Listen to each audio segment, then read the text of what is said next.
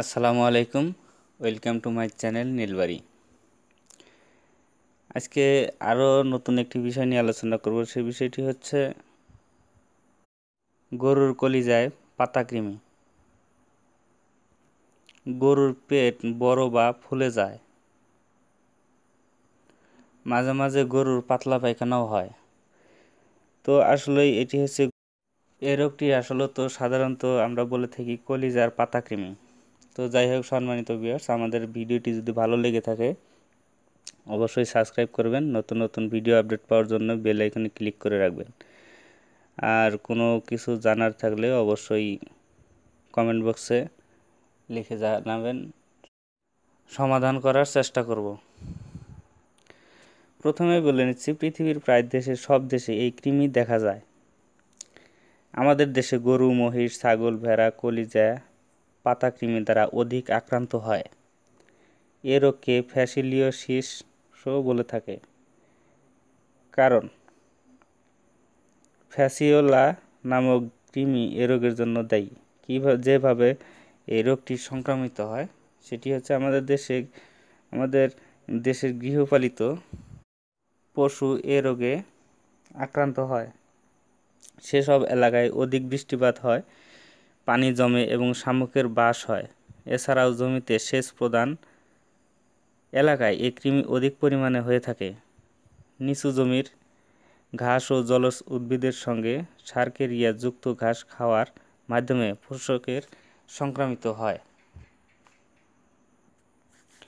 যকৃত পাতা কৃমির জীবনচক্রটা হচ্ছে প্রথমে প্রাপ্তবয়স্ক পাতা কৃমি যকৃতের পিত্তনালীকে অসংখ্য ডিম পারে এবং এসব ডিম মলের সঙ্গে বের হয়ে মাটিতে পড়ে। উক্ত ডিম স্যাঁতস্যাঁতে জায়গায় বা পানির সঙ্গে ডিম ফুটে শুষ্ক বা লার্ভা বের হয়, যাকে মিরাসিডিয়াও বলে থাকে। মিরাসিডিয়াম পানিতে শামুকের মধ্যে ঢুকে এবং মিরাসিডিয়াম আরও বংশবৃদ্ধির মাধ্যমে প্রথম স্পোরিস্ট, তারপর রেডিয়া হয়।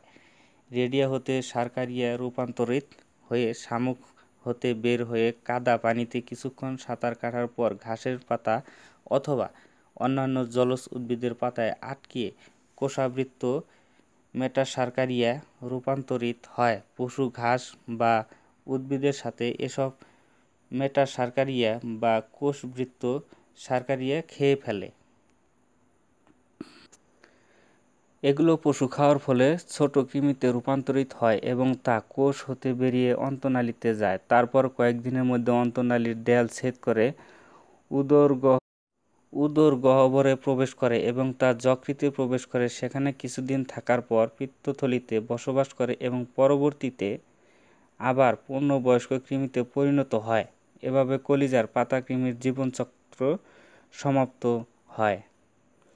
এই রোগটি হলে যেভাবে আপনার লক্ষণ প্রকাশ পাবে, সেটি হচ্ছে তীব্র প্রকৃতির কলিজার পাতা কৃমিতে লিভারে প্রচুর রক্তক্ষরণ হয়, ফলে প্রচুর বা পশুর হঠাৎ করে পেটে ব্যথার পশু ওঠা বসা বা ছটফট করে এবং হঠাৎ করে পশু মারাও যায়।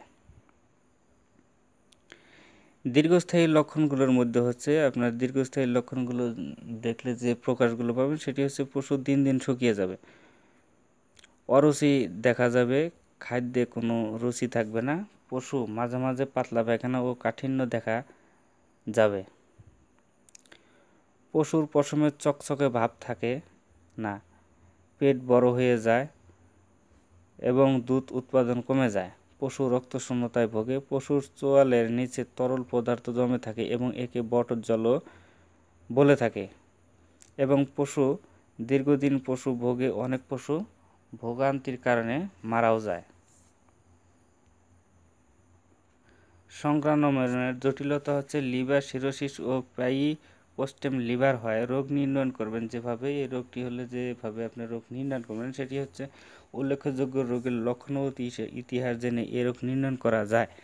আক্রান্ত পশুর মল স্লাইড নিয়ে মাইক্রোসফটের সাহায্যে পরীক্ষা করে অপারকুলেটেড বড় ডিম বা সবুজ হতে হলুদ বর্ণের ডিম দেখে এ রোগ নির্ণয় করা যায়। ময়নাতদন্তে লিভার বড় হয়ে যাওয়া পিত্তথালির নালীপথ মোটা হয়ে যাওয়া ও পাইপস্টেম লিভার এবং যকৃতে কেটে দেখলে অনেক যকৃত পাতাকৃমি বের হয়ে আসে। এসব চিহ্ন দিকে নিশ্চিতভাবে পশু যকৃত পাতা কৃমি দ্বারা আক্রান্ত হয়েছে তা জানা যায়। এই রোগটি হলে আপনি যে চিকিৎসা দিবেন বা যে ওষুধ খাওয়ালে আপনার এই রোগ থেকে আপনার পশু সুস্থ হবে, সেই বিষয়টি হচ্ছে যে কোনো একটি ওষুধ যেমন এন্ডেক্স বোলাস একশো পঞ্চাশ মিলিগ্রাম নোভার্টিস কোম্পানি বা লিভানিট বোলাস একশো পঞ্চাশ মিলিগ্রাম লেভানিট কোম্পানি একশো পঞ্চাশ গ্রাম অথবা অ্যান্টি ওয়ার্ম বোলাস এক পয়েন্ট ফাইভ গ্রাম। প্রয়োগ পদ্ধতি হচ্ছে উপরের যে কোনো একটি একটি মাঝারি ধরনের একশো বিশ থেকে একশো পঞ্চাশ কেজি ওজনের গরুর জন্য দুইটি বোলাস অথবা পঁচাত্তর থেকে আশি কেজি ওজনের একটি বোলাস একবারে খালি পেটে খাওয়াতে হবে। অথবা ইঞ্জেকশন অক্সিনিল পঞ্চাশ M L Techno company or ডোভেনিক্স advance or নেটরক্স রেনেটা কোম্পানির যে কোনো একটি ইঞ্জেকশন চার সিসি একশো কেজি দৈহিক ওজনের জন্য পশুর চামড়া নিচে ব্যবহার করতে হবে। অথবা এছাড়াও উপরোক্ত ওষুধ ছাড়া বাজারে কৃমিনাশক ওষুধ ট্যাবলেট ফ্যাসনিক্স নোভার্টিস কোম্পানির ট্যাবলেট হেক্সাটিন একমি কোম্পানির ট্যাবলেট ফ্লুক্লেনিন রেনাটা কোম্পানি ট্যাবলেট ট্রিয়েবেলিন স্কোয়ার কোম্পানি এলটিভেট এসিআই কোম্পানি ইত্যাদি যে কোনো একটি বড় পশুর জন্য যে কোনো একটি অথবা সত্তর থেকে আশি কেজি ওজনের একটি বড়ি সেবন করতে হবে।